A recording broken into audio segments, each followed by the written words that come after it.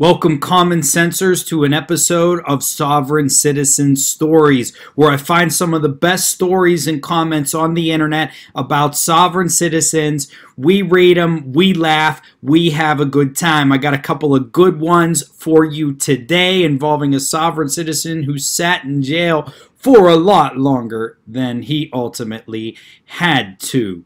Uh, thank you for tuning into the show, Common Sense Academy. If you like this content, please subscribe, like, comment, and share. That incentivizes me to make more videos. It also tells YouTube that you're watching, you're enjoying, and they give me a higher ranking. In addition, if you like my content and you want more of the great content that I am offering, please sign up for my email list below. If you sign up for my email list, you'll get a free PDF written on the history and examination of the sovereign citizen movement written by yours truly, Joe the lawyer, Joe Pometto, Common Sense Academy himself. It's a three-page PDF. It's a nice, fun, concise summary. Now, before we get into the stories, let's do the moment you've all been waiting for, the real reason why you are here, not for the sovereign citizen stories or my magnetic personality. You're here for the same time sip. Get your beverage, whatever it is that you may be drinking today coffee, Coke, or alcohol. And cheers with me, same time sip.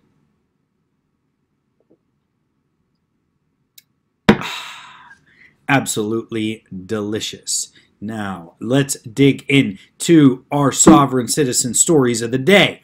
So I have one here from uh, an individual calls himself Punchbeard on Reddit.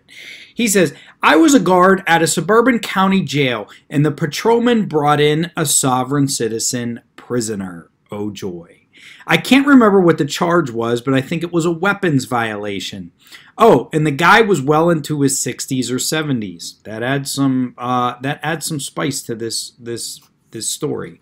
I remember he refused to acknowledge the laws of the state or the country. Because of the stuff he did, like refused to sign any papers or answer any direct questions, he couldn't officially be booked. And since he couldn't be booked, technically he couldn't be given clothes or food, but the sheriff and mayor made sure he was fed and clothed. Otherwise, he was denied all other rights and privileges other prisoners would receive, like mail, phone call, commissary purchases, and eventually visits. The sheriff allowed his wife to visit him in hopes she'd talk some sense into him.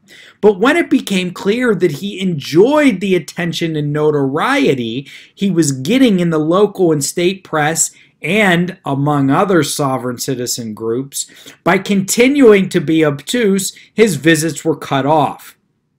And all his crap also kept kept him from going before a judge. So he sat in an isolated cell with no books, television, or contact with the outside world for at least a month, maybe more.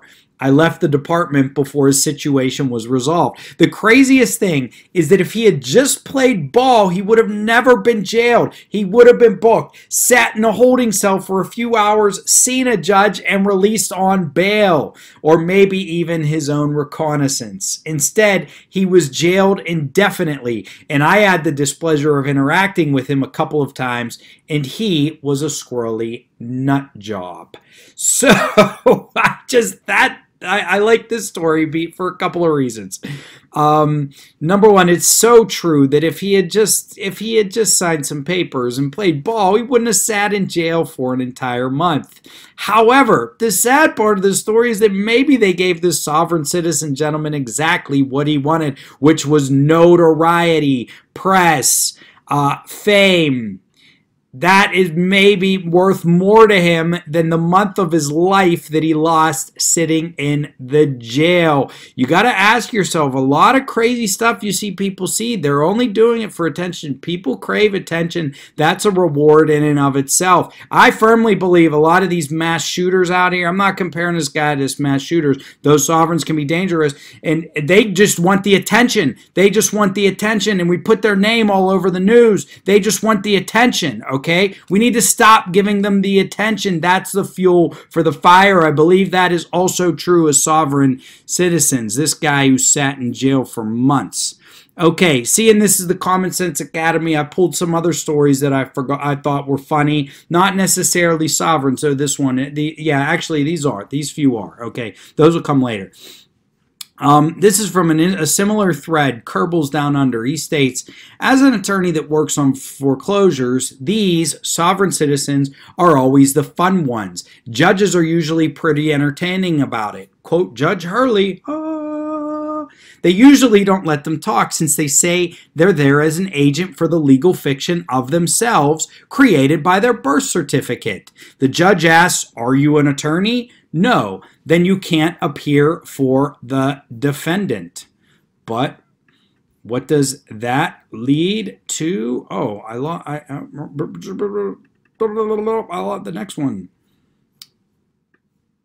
No, okay, then you can't appear defend appear for the defendant. So what does that mean? Well, let's look at the next one. Wise us out. All-time favorite. Magistrate. Are you John Smith? John Smith. No, I am John. Magistrate. John Smith.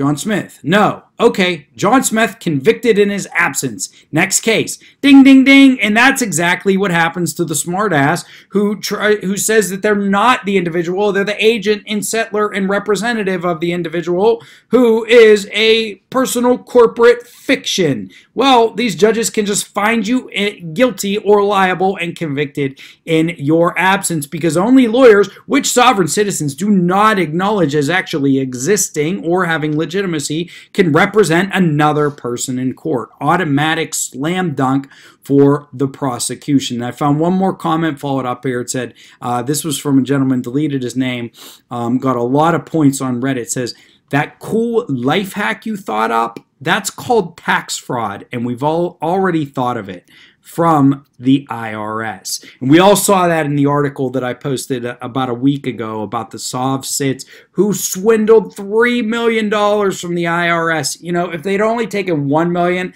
they would have probably gotten away with it. So I hope you enjoyed this short dose, this short shot of sovereign citizen joy, fun, jokes, all right? The same time sip that we also enjoyed. Please subscribe, like, comment, and share. It's a free and easy way to support the show and incentivize me to make more videos. Also, sign up for my email list and you will get a free PDF on the history of the sovereign citizen movement created by yours truly. Uh, as for, uh, and that's it for now. Please, next time you tune in, give me your name and badge number.